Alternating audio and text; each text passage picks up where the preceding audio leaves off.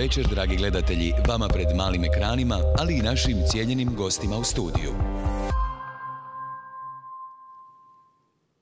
Dobra večer, cijenjeni gledatelji, u još jednoj emisiji Sanitom aktualno. Moji večerašnji gosti su gospodin Dragutin Lesar, predsjednik eh, Hrvatskih laborista stranke Rada. Dobra večer. A očekujemo svakog trenutka da nam se pridruži predsjednica eh, stranke Održivi razvoj Hrvatske Mirela Holi koja je zapela u prometu. E, gospodine Lesar, prije nego što krenemo na razgovor, predlažem da pogledamo prilog naše kolegice.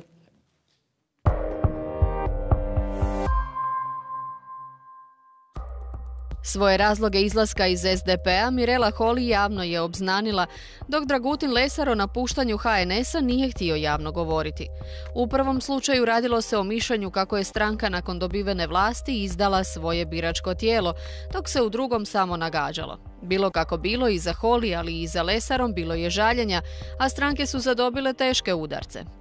Posljedice je HNS osjetio već na parlamentarnim izborima 2011. s velikim uspjehom Lesarovih laburista, a čini se kako će i novo osnovani orah Mirele Holi biti iznenađenje sljedećih izbora. Naime, prema anketama Mirela Holi sve je bliže vrhu najpopularnijih političara, a njezinoj stranci predviđa se prelazak izbornog praga. Hrvatima je očito dozlogrdila politika vodećih stranaka, žive sve jadnije, a u obećanjima političara na vlasti čini se ne vide budućnost. Više od dvije trećine građana i dalje misli da Hrvatska nije na dobrom putu, no sve ih je manje politički neodlučnih. Zato će, ako su posljednja ispitivanja javnog mijenja imalo točna, bitne uloge u novom sazivu vlade imati upravo oni koji su zbog dosljednosti vlastitim uvjerenjima stranačkoj stezi odlučili zalupiti vratima.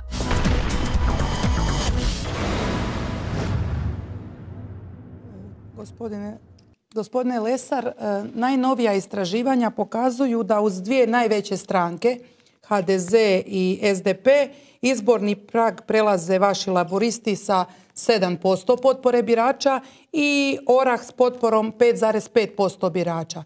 To je stvarno respektabilan e, postotak, postotak glasova. Jeste li zadovoljni? Jesam. Hrvatski laboristi su svim anketama do sad stabilno treći pozicionirani, bez obzira da li se mjere stranke pojedinačno ili nastavljaju s rasa dvije velike koalicije, lijevom ili desnom. Ankete naravno ohrabruju i motiviraju ne samo za pripreme za izbore, nego ukupni politički rad. Pa zašto vas to pitam? E, e, sada je glavni koalicijski partner e, SDP-u HNS. Međutim, e, mnogi špekuliraju da ste upravo vi, gospođa Holi, e, moguća buduća koalicija sa SDP-om. Ima li ikakvih uporišta za takve analize, makar kada, kada su u pitanju hrvatski laburisti? Ja sam, naime, iz anketa je sad ovim trenutku vidljivo da će i poslije sljedećih parlamentarnih izbora biti koalicijska e, po odnosu snaga Kukuriku koalicija neće moći sama sastaviti vladu. Naš ulazak prema lijevom političkom bloku i eventualno postizborno koaliranje ne ovisi o samo dobroj volji, nego prvo o sastavu te koalicije i drugo mogućnosti dogovora o ključnim točkama, programskim točkama. Dakle, mi jesmo spremni za razgovore, naravno da izazivanje izvanrednih izbora, ponovljenih izbora bi bilo neodgovorno ponašanje svakog ko se bavi politikom, ali opet s druge strane nećemo moći kao ni nakon prošlih parlamentarnih izbora pristajati na ulazak u koaliciju samo zato da se dođe u poziciju vlasti. Ne želite to? E, mi jesmo spremni preuzeti odgovornost za Hrvatsku u onom omjeru koliko biračko tijelo da nama potporu, ali ne pod uvjetima da to samo po sebi je jedini cilj, dakle ulazak u vlast. Ako u vlasti ne možete ostvariti program ili najveći dio onog programa zbog kojega ste dobili potporu birača, onda po meni i po iskustvu iz politike ulazak u takvu koaliciju je jednokratno, dakle za jedan mandat i ništa više. Ne možete ljude dva put prevariti. neki su e, premijerovu izjavu da ne želi biti populist E, shvatili kao porugu vama da ste vi postali populisti, da zapravo podilazite biračkom tijelu, pogotovo u ovom dijelu radništva i da govorite ono što ti ljudi žele čuti.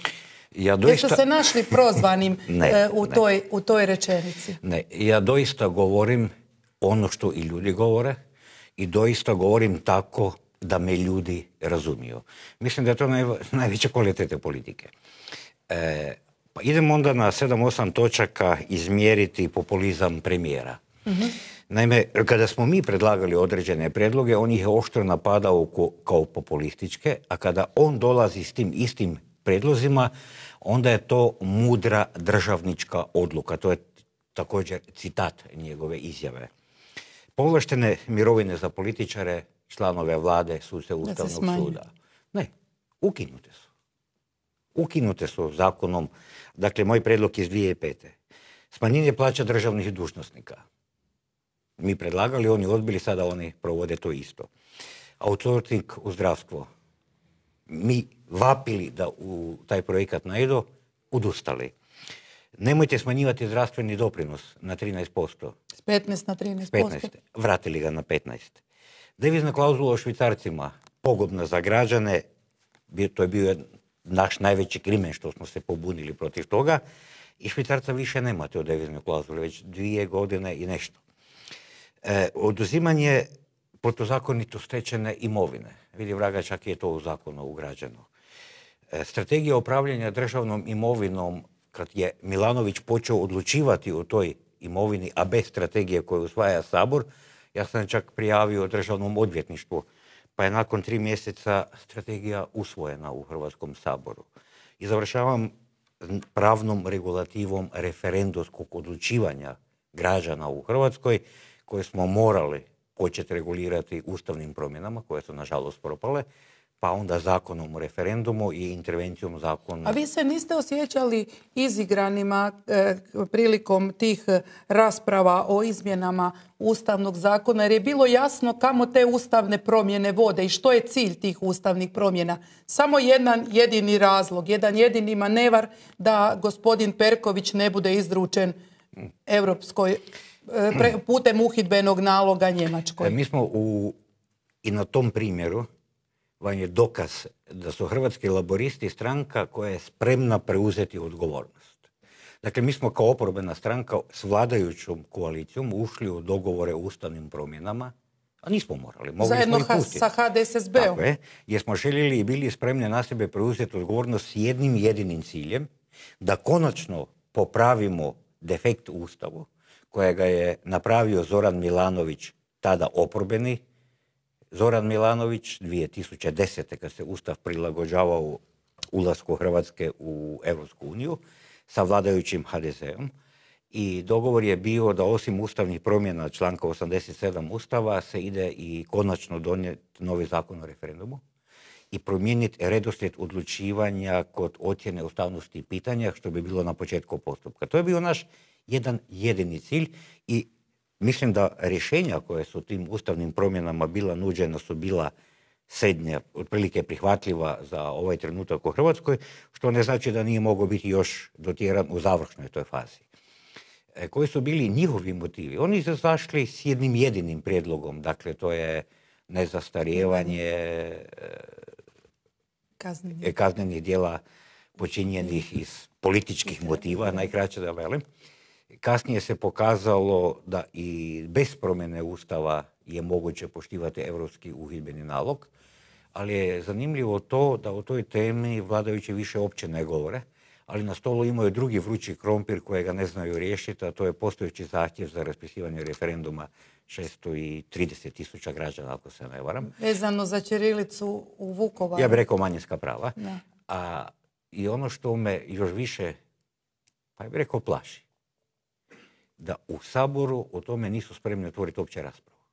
Dakle, oni se ne usude otvoriti raspravu kako problem riješiti. A dobro, dolaze europski izbori, možda treba gledati stvar u tom kontekstu, jer nije se lako zamjeriti velikoj većini građana ili birača. Ipak 630 tisuća građana koji su potpisali jednu inicijativu nije e, zanemariv broj. Pa vladajuća koalicija je sa nešto malo više sto, možda stotinjak tisuća glasova dobila vlast u Hrvatskoj. 820. E, Ali onda je Zoran Milanović u velikim problemima, ne SDP. Jer ovo su odluke Zorana Milanovića, ne SDP-a. Em, u Hrvatskoj su malo, malo pa izbori. da. Kad će ove ozbiljne probleme, dakle, ustavno-pravne rješavati, onda ne znam. Gospodine Lesar, slušajući vas ovako, mislim da ste vi u velikom problemu. Naime, vama je prirodni koalicijski partner SDP, jer su vam bliži svjetonazorski, ako hoćete i politički od HDZ-a. Međutim, vidim da ste poprilično kritični kada je u pitanju politika e, Zorana Milanovića i ove koalicije koja je na vlasti. A nije zanemariva ni činjenica ta da je HNS stranka koja vama baš nije omiljena na top listi. U politici i takvom odlučivanju simpatije i ljubav imaju jako malo utjecaja. Znači samo Raci- interes. Ne, ne, ne, ne. Opće dobro.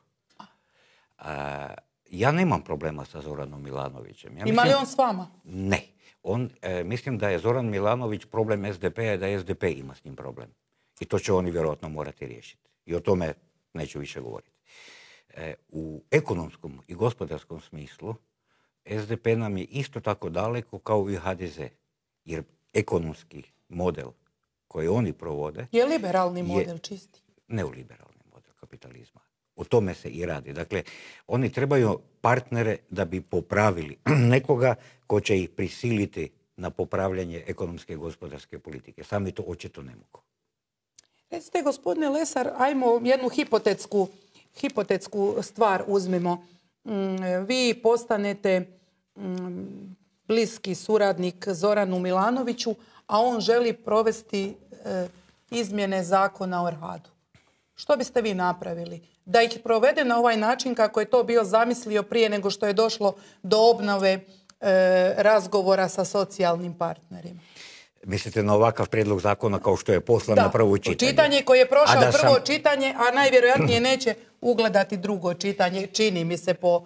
Vrlo jednostavno. Takva razlikovna točka i toliko različiti stavovi tada mogu značiti samo jedno. Da laboristi u toj koaliciji ne mogu ostati. A zašto onda... Dobro, e, mislila sam reći zašto onda opće sklapati neku koaliciju koja nema nikakve nade u uspjeh. No, Zato na početku koalicija mora postaviti barem desetak upirošnih točaka ispod kojega se ne ide i gdje se treba postići suglasnost. Ne ide bez toga. Recite li, bi, biste li vi sudjelovali u budućoj e, vlasti ili vladi u kojoj bi HNS imao značajnu ulogu? Ili predstavnici HNS-a? Kukuriku koalicija je zadana okvir. Dakle, ona je tog sastava. Hipotetički gleda, to me hipotetički naravno. Da, normalno.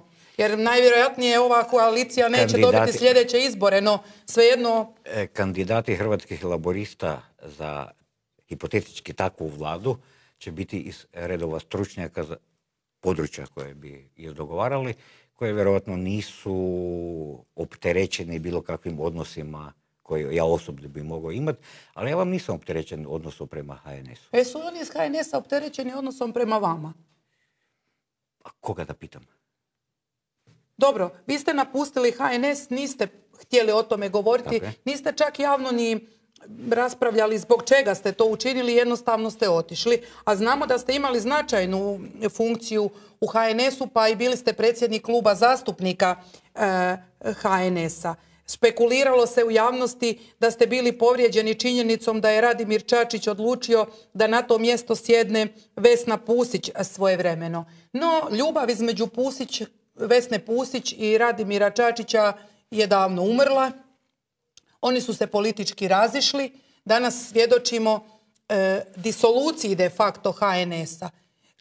To, jest izlasku e, HNS-ovaca iz najvećeg uporišta HNS-a, a to je sjeverna Hrvatska. Kad sad iz ove distance vremenske, vi ste već dugo izvan HNS-a, e, pogledate ta događanja, kako ih ocjenjujete?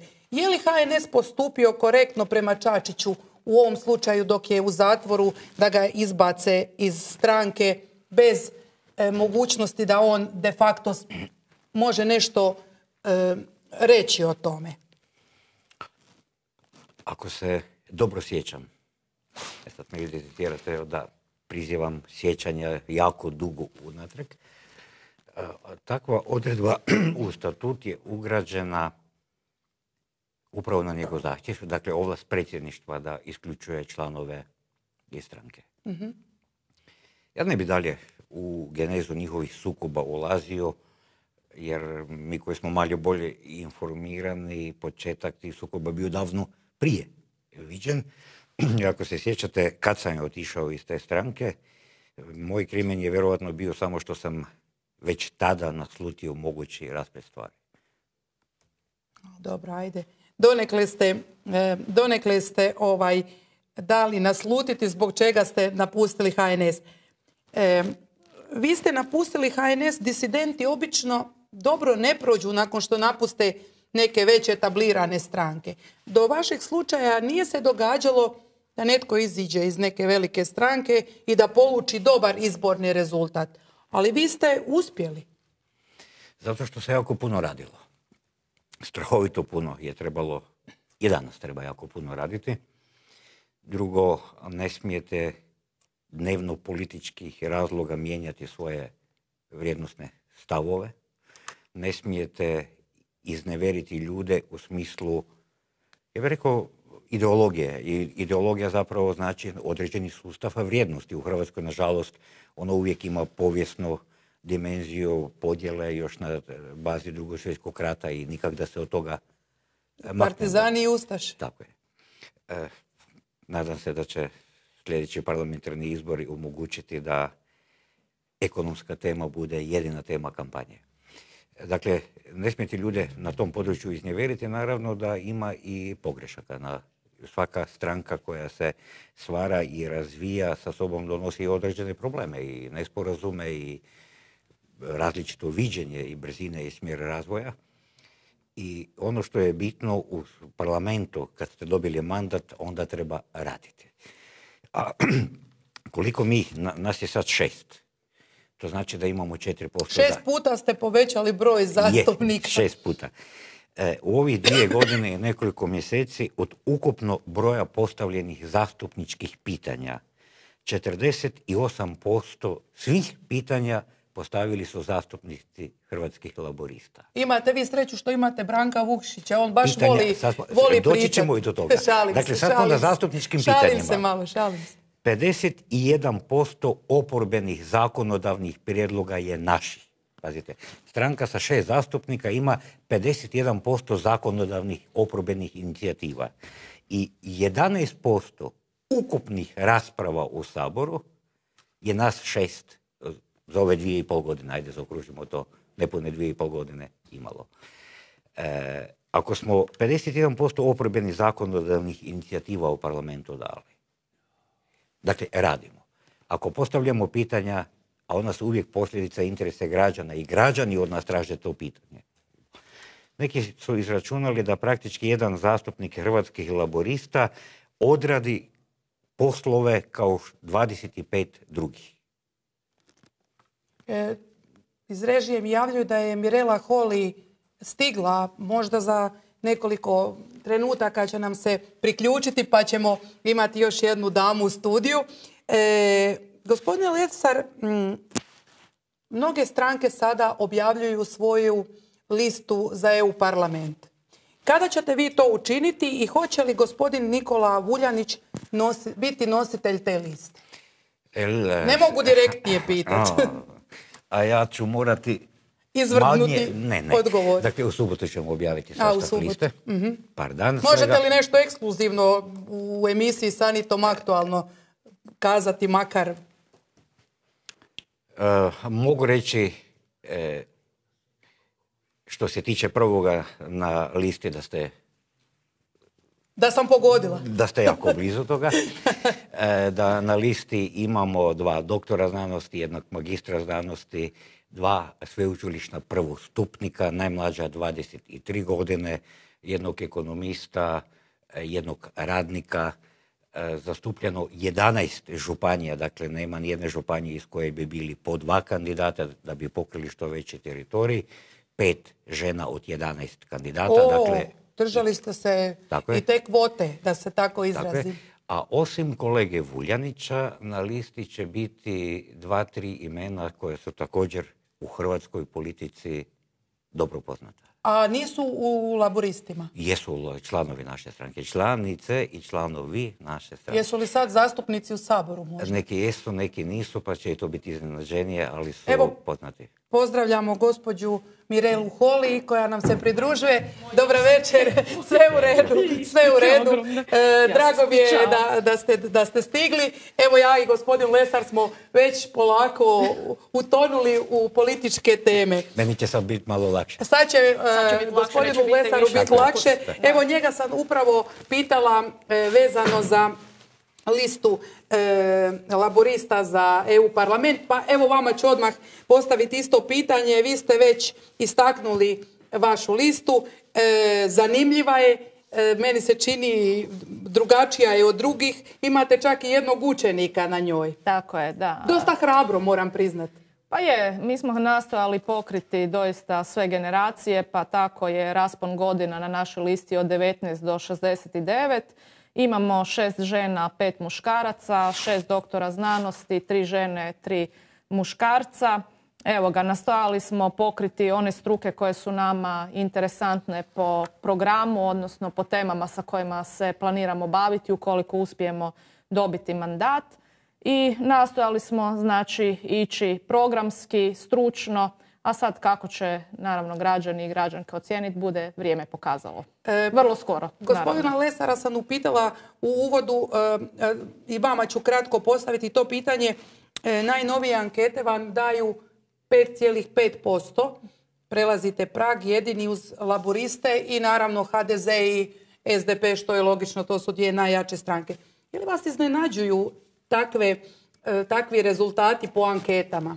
Pa iznenađuju me naravno zbog toga što je Orah jako mlada stranka, mi imamo četiri mjeseca, tek smo u stvari počeli politički djelovati, gradimo infrastrukturu, ja to volim ono, uspoređivati da smo mi jedna vrlo ambiciozna biljka koja se nalazi u tegli, koja ima relativno malo zemlje i mali obujam, a jako imamo velike ambicije da rastemo i zato imamo sad određenih organizacijskih poteškoća.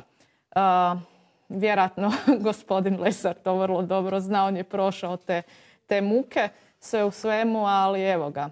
Trudimo se i svjesni smo toga da je ova sada ovaj rating u anketama više rezultat dojma nego našeg stvarnog političkog rada na terenu i zbog toga ćemo sada tek u stvari raditi na predstavljanju naših sektorskih politika. E, slažem se ja da je dojam, ali u politici je dojam i tekako važan. Je, Bez obzira, e, naravno, često puta se dogodi u Hrvatskoj da zapravo e, forma nadvlada sadržaj. I svi smo mi zarobljenici ponekad u tim izbornim previranjima upravo te činjenice da ljudi više drže do forme nego do sadržaja. Međutim, htjela sam vam postaviti samo još jedno pitanje pa ćemo nastaviti dalje e, razgovor. vi ste postali ministrica e, zaštite okoliša. I dočekani ste sa velikim simpatijama kod građana jer se pa činilo... ja se time ne bih baš složila. Čekajte, čekajte. Jer se činilo da ste osoba koja zna sektor kojem je na čelu. Pazite, to je danas dosta velika rijetkost s obzirom da većina naših ministara ne poznaje dobro sektore na kojima su na čelu. Međutim, vi ste nastradali zbog jednog maila, ali mene zanima, mislite li vi da ste vi nastradali samo zbog maila ili zbog činjenice da ste i kao ministrica ostali aktivistkinja? Pa ja ne volim e, raditi tu podjelu između političara i aktivista, zato što i političari su u stvari aktivisti. Mislim, samo što nisu u civilnom sektoru, nego su u politici. Ja smatram da je najveća vrijednost bilo kojeg političara i stranke vjerodostojnost i principijelnost. Ja sam se kao ministrica trudila raditi na realizaciji naših politika koje smo zacrtali u planu 21, ali u našem ukupnom programu. I ja mislim da je to bila najveća točka prijepora jer sam ja bila prilično tvrdoglava u tome.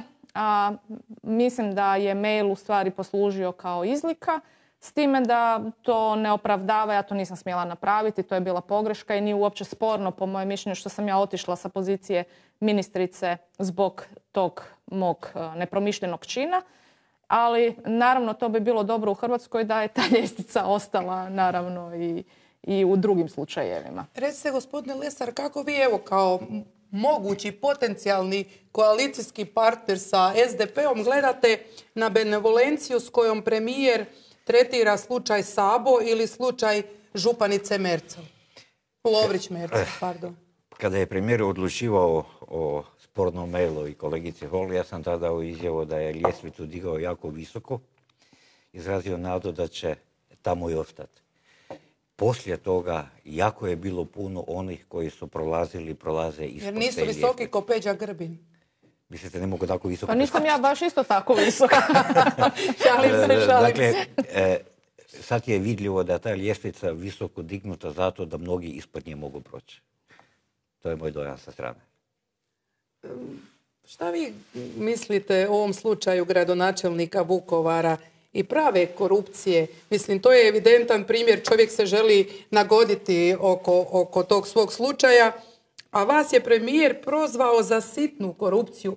Šta to znači sitna korupcija? Nikako mi nije jasno. Pa ja doista nisam dobra za tumačenje premijerovih riječi. Ovaj, ali, ali ste mu suradnica jedno vrijeme, pa pretpostavljam pa dobro, ja sam o tome govorila prošli tjedan. Ja mislim da se radi kod njega o jednoj sistemskoj grešci u načinu razmišljanja. Jer ja sam stekla dojam da on to ne radi iz poze, nego radi iz uvjerenja. Dakle, on doista smatra da je ono što sam ja napravila daleko gore od svega onoga što se kasnije događalo. On je sebe valjda uvjerio u to. Ja mislim da, da to nije baš logičan način razmišljanja. I zbog toga ja govorim da kod njega postoji određeni problem u razlikovanju uh, gradaciji, tako da kažem, nečijih postupaka, pa možda i promišljanju onoga što je loše i onoga što je još lošije. Tako da kažem, pa rekla bih i onoga što je dobro i loše. E, e mogu vas upitati jedno pitanje vezano za Jadranku Kosor. Dosta je bilo špekulacija oko toga da bi se Jadranka Kosor priključila e, Orahu. E, je li ona zadovoljava kriterije da postane članica Oraha? Pa gledajte, takva suradnja naravno da nije moguća. Gospođa Kosor je bila premijerka HDZ-ove vlade, bila je predsjednica HDZ-a. HDZ je desna stranka. Ja mislim da se u ovom trenutku teško može govoriti o HDZ-u kao i o stranci desnog centra. Oni su baš stranka desna mi smo lijeva stranka, stranka zelene ljevice. U programskom smislu smo ljeviji od eh, SDP-a i naravno da takva suradnja apsolutno nije moguća. Dobro, mislim čitala sam o tome pa, pa me je baš zanimalo. E, recite, gospodine Lesar, je li najnovijim rebalansom proračuna se išta postiglo osim redistribucije unutar stavki proračuna? Pa ovaj rebalans je zapravo na prihodovnoj strani povećao prihode za neke 5,8 milijardi, na rashodovnoj smanjio za 2,9 milijardi. To je negdje na pola puta onog cilja koje je Europska komisija vladi zadala da bi se došlo u ovoj godini, ako se ne varam, do 4,6% deficita, pa onda prema 3%. Ali kad već taj deficit državnog proračuna 3% spominjemo, ja ću reći da se radi o dogmi koja se nije temeljena na nikakvoj ekonomskoj računici i dokazivosti. E, Europa je taj kriterij nametnula sasvim slučajno, a nastao je u Francuskoj za vrijeme Mitterana, kada je on dvojicu svojih savjetnika zatražio da mu nađu mjerilo, kriterij ili način kako da može otjerati ministre koji su svaki dan k njemu dolazili po novac. I sada, tek sada su oni, to je bilo 81. ili druga godina, i oni su sada obznanili kako su došli do izračuna 3% deficita državnog proračuna. Jedan smiješno malo, dva bi bilo primjereno, ali imamo problem jer je Francuska tad imala deficit 2,6, pa smo se onda dogovorili da to bude 3. I nakon sad vremena smo Mitterrandu predložili da bude 3%. I on je uveo deficit 3%. To je živa istina. E, mnoge te iste države unutar Europske unije na deficitu državnog proračuna su obnavljale svoje gospodarstvo. I sad slijedi nastavak. I svi ekonomisti će vam to potvrditi, naročito ovi tvorci deficita 3%. On je održiv, on je normalan i dobar i daje dobre rezultate ako istovremeno imate rast bruto društvenog proizvoda 5% i inflaciju ne veću od 2%. Čim ta dva parametra nemate, inzistiranje na deficitu 3% je pogodno za nacionalnu ekonomiju. Točka. Sve, gospođo Holi, što vi mislite, zašto ova vlada nema sluha za socijalni dijalog sa socijalnim partnerima? Dobro, sad je to nešto obnovljeno, ali dugo je vremena trebalo da, da počne dijalog između vlade i sindikata.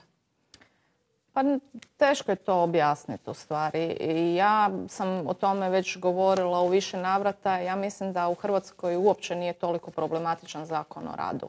Jer ako vi gledate na koji način se ponašaju privatne tvrtke, nemaju one baš jako velikih problema sa otpuštanjem svojih radnika. Promijene naziv radnog mjesta, naprave drugčiju sistematizaciju i to je manje više to.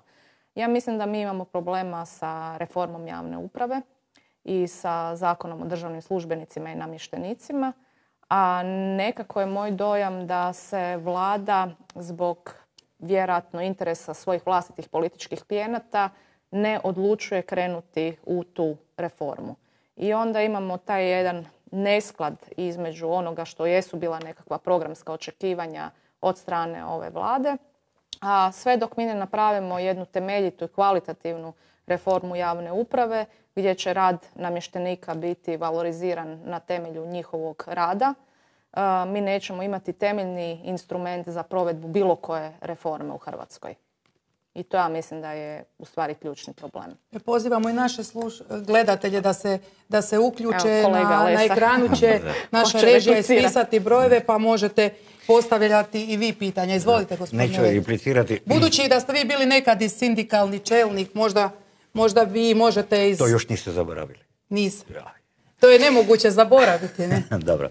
E, da ne ostane nedoumica oko ono liste, rekao sam i neki saborski zastupnici. Dakle, ja nisam na listi, da ne bude zabune. Ja nisam na europskoj listi. A vi jeste, jel da? Jer su... Iako ste rekli da ne želite ići u USA. E, zato što mislite da ovdje ima više posla. Pa mislim da je u ovom trenutku važnije biti u Hrvatskoj nego u Europskom parlamentu. Mi smo upravo iz tog razloga na listu stavili 11 onih koji imaju želju da idu u Europski parlament. Kolegica Holi je dobro temu načela. Dakle, vlada ima problem više sa zakonom o državnim službenicima i namještenicima nego sa zakonom o radu u kontekstu najavljene reforme državne javne uprave.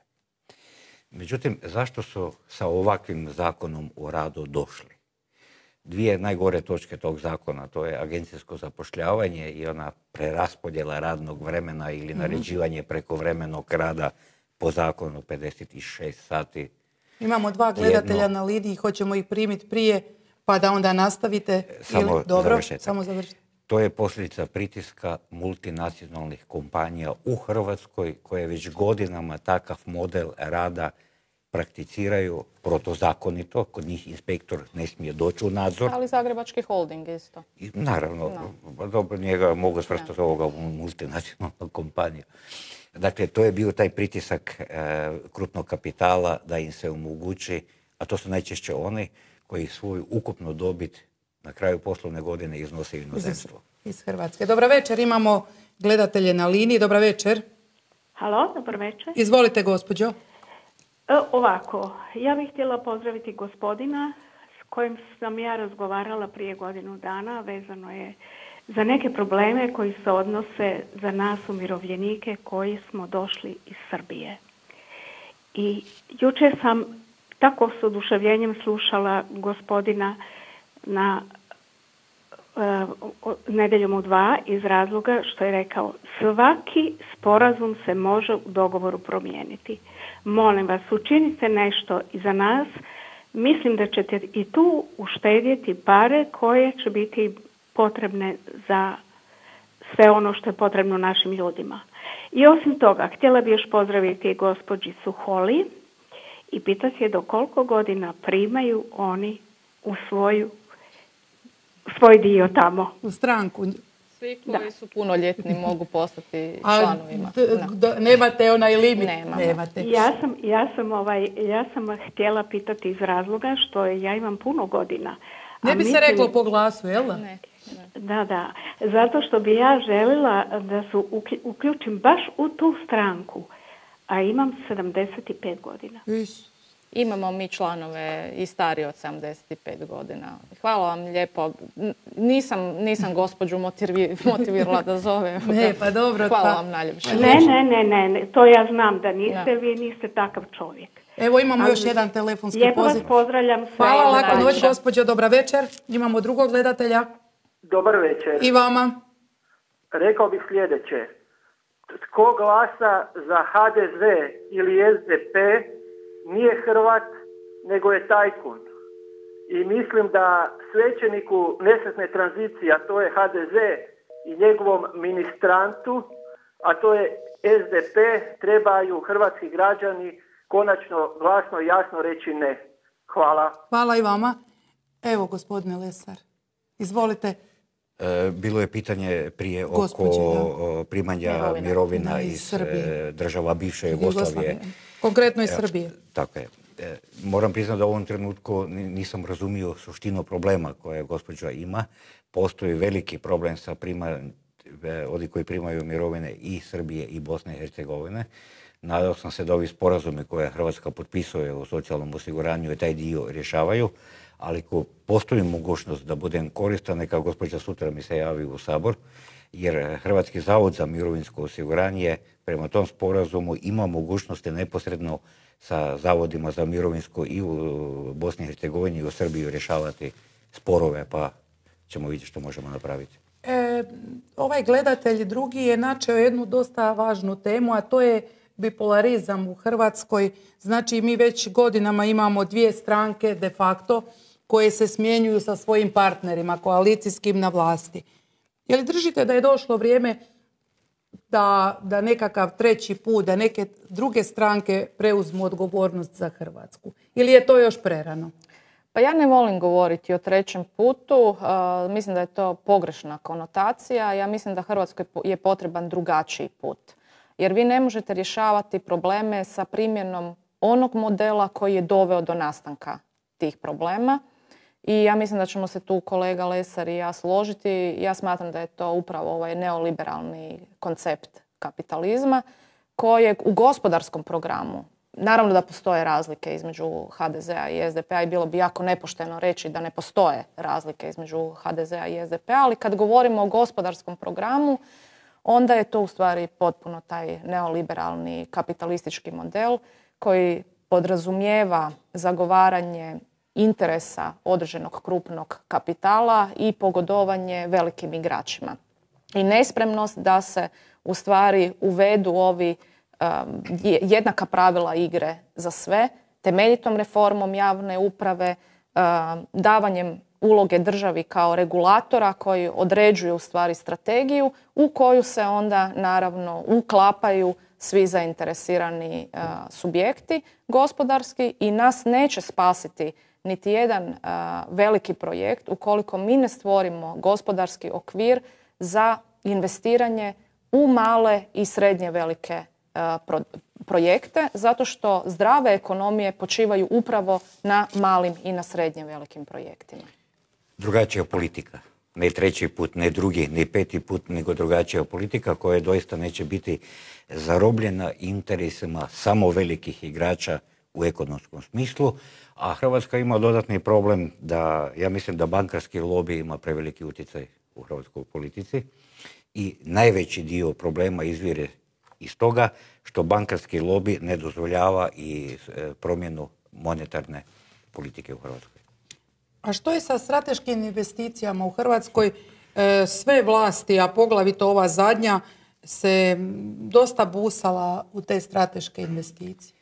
Ako se, Što je od toga ostalo? ako se dobro sjetimo rasprave o zakonu o strateškim investicijskim projektima, koji je dao široke ruke i ovlasti državnoj vlasti u njihovim realizacijama, samo što veliki projekti nisu započeli. I sad se vidi da zapravo se radi o samo još jednom od pokušaja obećanja i uvjerovanja da će ti veliki nacionalni projekti oporaviti hrvatsko gospodarstvo i od svega se ja sjećam, kolega Mirela će mi pomoći, od donašanja zakona do današnjeg dana potpisan je samo ugovor za zračnu luku u Zagrebu, ako se ne varam. koji je pripremljen već oho, ho, Godinama i to pod okolnostima koje u ovom trenutku ne znamo do kraja, jer aneksi ugovora nisu kao i ugovor dostupni javnosti i čini mi se da to je još jedna velika, veliki balon koji kad pukne svašta može sa sobom donijeti.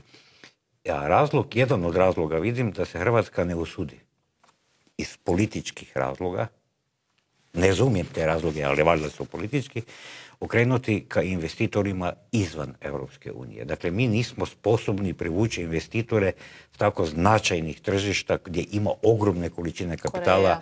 Koreja, Kina, Kina, Kina, Rusija. E, mi očekujemo da samo Europa dođe i investira u hrvatsku proizvodnju. Neće. Njima nije interes razvijati hrvatsku proizvodnju, jer si time čisti tržište, konkurencija. Ostalom od 25 milijarde eura stranih investicija u Hrvatskoj, 80% toga je u telekomunikacije, financijski sektor, farmaceutsku industriju i trgovine na malo. Usluge trgovine na malo posebice. Znači? Investicije u proizvodnju će dobiti od onih koji imaju ogromnu količinu kapitala, koji imaju tržište, svoje veliko svjetsko tržište gdje će plasirati to. Na tržište Europske unije naša količina proizvodnje, proizvoda kojega bi mogli e, iznijeti, za, ako isključimo usluge i ove male i srednje poduzetnike, svodi se na što? Na vegetu. I tako zadnjih 15 godina. Da, nama trebaju proizvodi sa dodanom vrijednošću, jer mi ne možemo na nikoji način konkurirati velikim igračima u smislu masovne proizvodnje i zbog toga polaganje jako velikih e, nada u velike projekte je potpuno iluzorno. Ja smatram da Hrvatskoj treba zakon o strateškim investicijama, ali te strateške investicije doista moraju biti strateške investicije, što znači da moraju biti od interesa za državu u smislu realizacije nekih ključnih infrastrukturnih e, projekata vezanih ili uz promet, ili uz komunalnu infrastrukturu, ili znanost i tehnologiju. Dakle, gdje, je jako lako utvrditi u stvari javni interes. A kad vi imate partikularne gospodarske projekte, onda je jako teško utvrditi da li se taj projekt može zvati strateškim projektom od posebnog gospodarskog interesa za državu. Gospodine Lesar, godinama ste putovali na posao u Sabor ili vlakom ili autobusom. E, vidim, nije vam pala kruna s glave zbog, zbog te činjenice.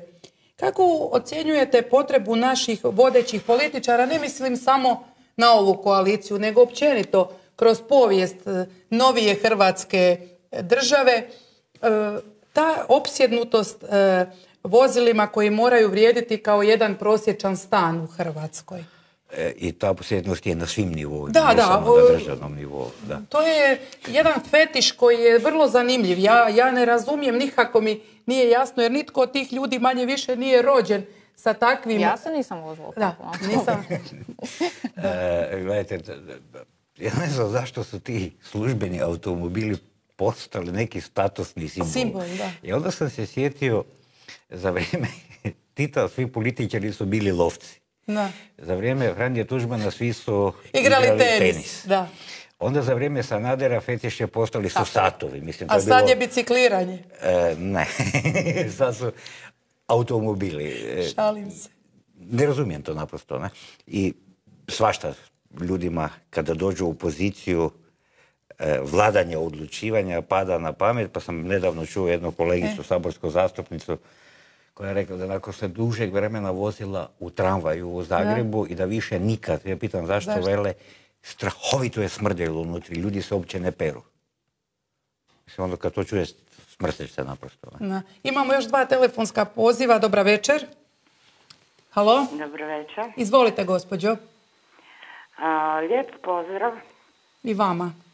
Dva najdraža političara u ovoj e, mojoj domovini a momentalno su vaši gosti. Eto, baš, baš dobra sreća da smo nekog razveselili. Fenomenalan izbor. Puno vam hvala.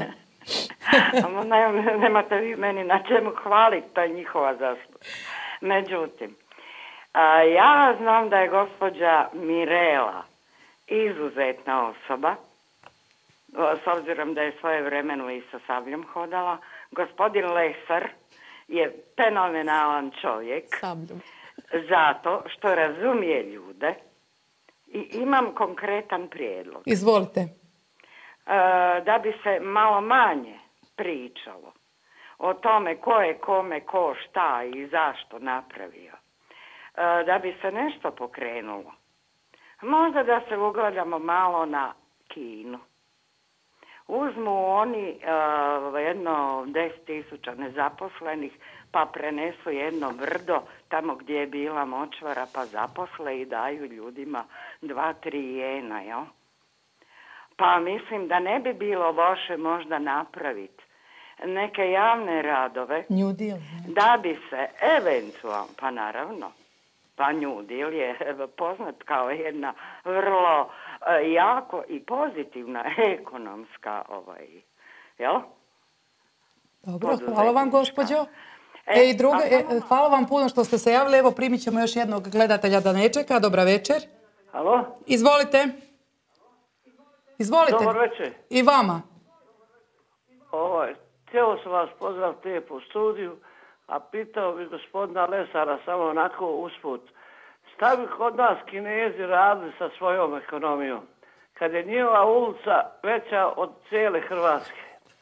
Više stanovnika ima ulica nego Hrvatska. Šta bi kinezi radili u Hrvatskoj?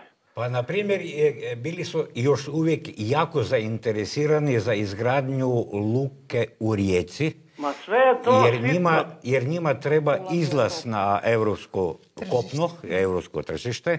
Bili su spremni financirati izgradnju ravničarske pruge Rijeka-Zagreb upravo radi toga.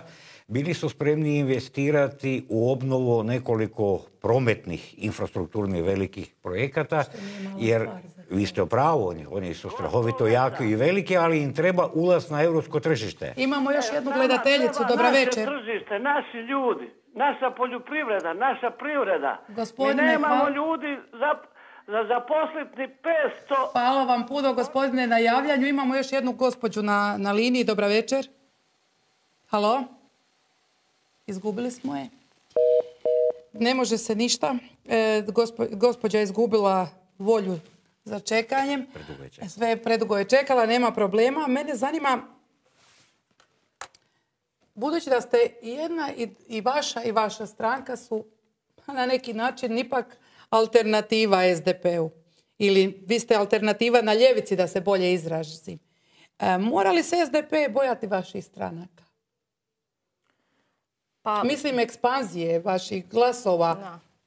Pa ja ne znam, e, dosadašnje ankete pokazuju da Orah uzima glasove iz pula neodlučnih birača.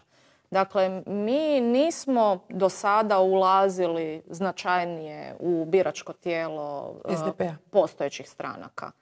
Barem, barem tako ovaj, rezultati anketa sugeriraju.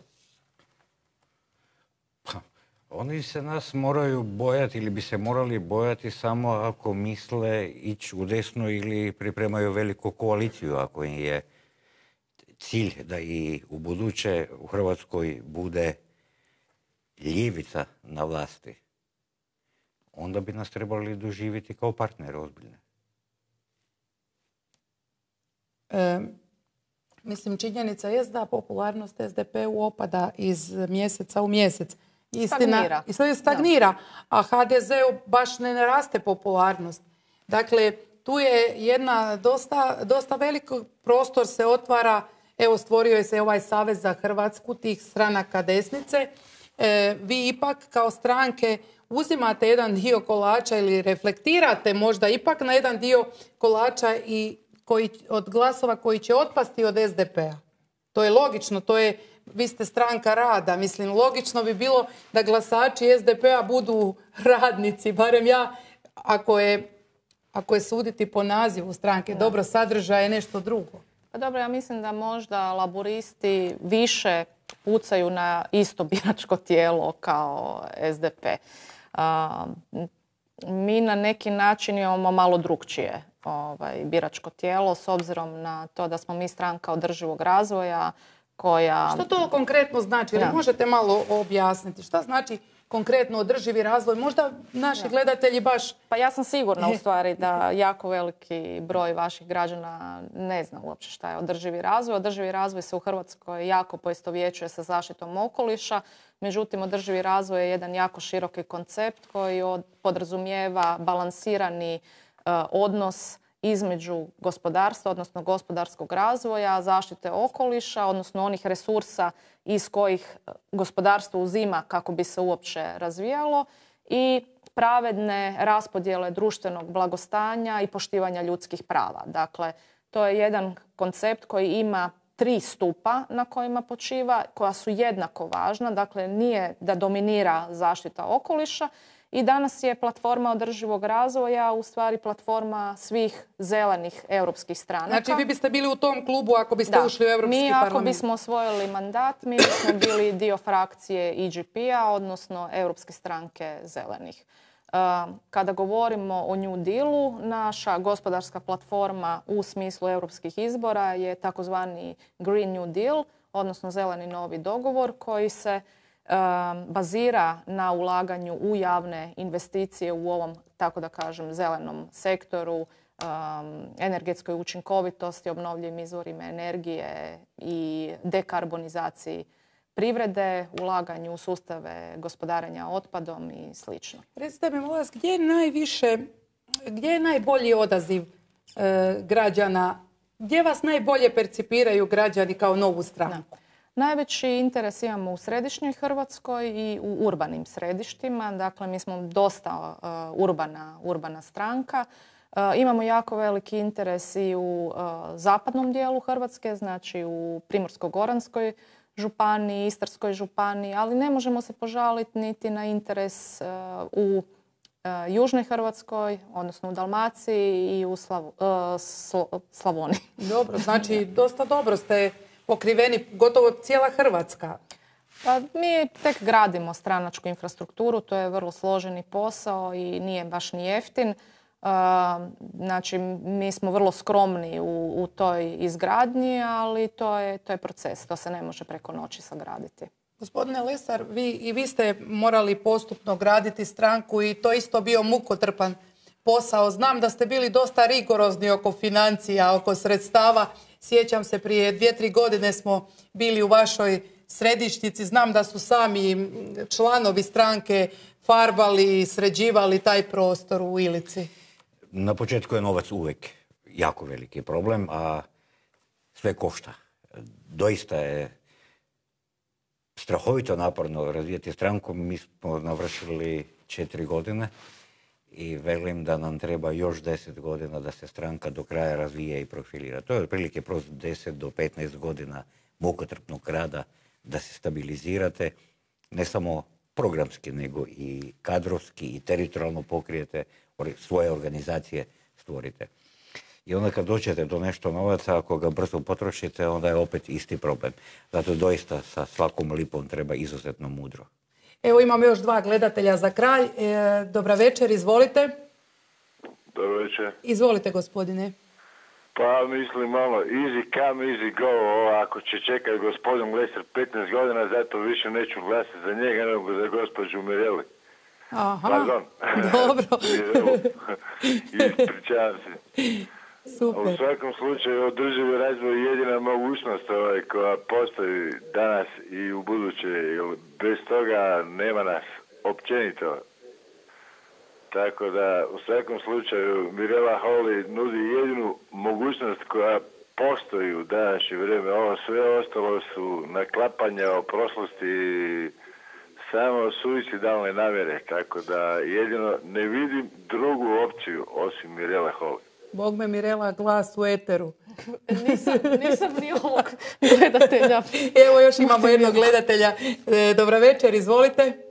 Halo?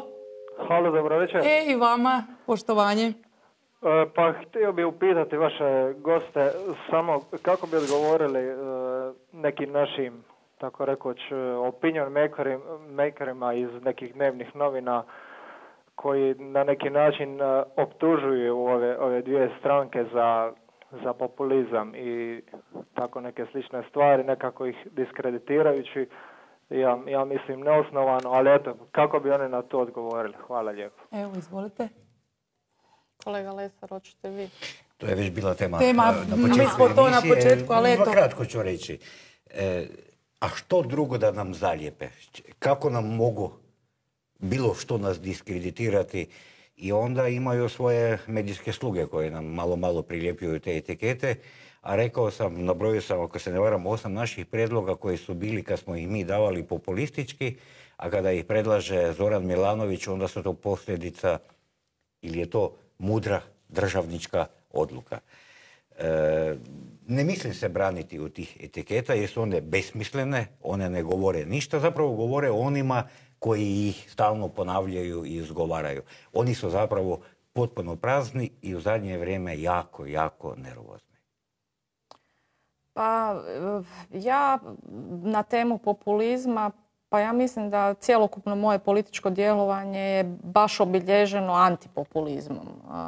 Jer se zalažem za određene teme koje baš nisu jako popularne u hrvatskoj javnosti. Pa i jako je bilo riskantno pokrenuti priču oko legalizacije marihuane na kraju krajeva. Tako da mislim da ne stoje baš teze oko toga da Orah e, se ponaša na nekakav populistički način. A gledajte, mislim, naravno da nažalost u, u politici kakva je danas u Hrvatskoj se mi koji smo akteri političkih, političkih procesa nažalost ne sukobljavamo na temelju naših programa i naših prijedloga politika koji bi trebale ukazivati na način na koji ćemo rješavati probleme ukoliko budemo u prilici participirati u vlasti, nego je ovo valjda zabavnije i javnosti, ali to je ukupno gledajući jako loše za hrvatsku politiku. Evo na samom smo kraju emisije. Gospodine Lesar, recite, e, eto, dugo godina ste u politici. Je li moguće u politici imati prijatelje i stranačke kolege da su vam lojalni, da možete očekivati da se na njih možete osloniti? E, smatram da politika je posao. Profesionalan, odgovoran, naporan. U politici morate imati iskrene suradnike, stručne, dobre i one koji su odani ideji koje vode. Onda posao može funkcionirati. E, Prijateljstvo to s tim nema veze. Ako na početku svi shvatimo da smo suradnici na jednom projektu i imamo zajednički cilj, onda je to veća vrijednost od bilo kojeg prijateljstva. Gospođo Holi, vi ste prošli, pa rekla bih, jedan, jednu dosta tešku situaciju u SDP-u. Nije bilo lako biti meta za odstrel, de facto, da se tako izrazim, lovačkim riječnikom. Jeste li se razočarali u vaše kolege u SDP-u? Jeste li očekivali više hrabrosti od nekih ljudi? Pa ja sam u SDP-u upoznala jako puno doista kvalitetnih ljudi. Meni je SDP kao stranka jako puno dao u političkom smislu. Ja sam na tome izuzetno zahvalna. Ja se ne volim uspoređivati sa drugim ljudima zato što smatram da to nije dobro i da to može voditi u nesreću. Moje okolnosti životne se razlikuju od životnih okolnosti nekih mojih kolegica, bivših i kolega. Oni imaju vjerojatno ipak e, određene životne uvjete koji su teži od mojih i zbog toga ja ne volim gledati po principu začepljenog nosa na to da oni nisu imali dovoljno hrabrosti ili teško se staviti u, u, u tuđe, u tuđe cipele. Ja ne volim na taj način gledati. Zahvalna sam na svim onim prekrasnim kontaktima koje sam imala prilikom svog članstva u SDP-u steći i mislim da je uvijek u životu bolje gledati na one dobre strane koje ste imali u prošlosti nego sjećati se loših trenutaka. Cijenjeni gledatelji, evo to je bilo sve za večeras. Vidimo se sljedećeg ponedjeljka. Laku noć.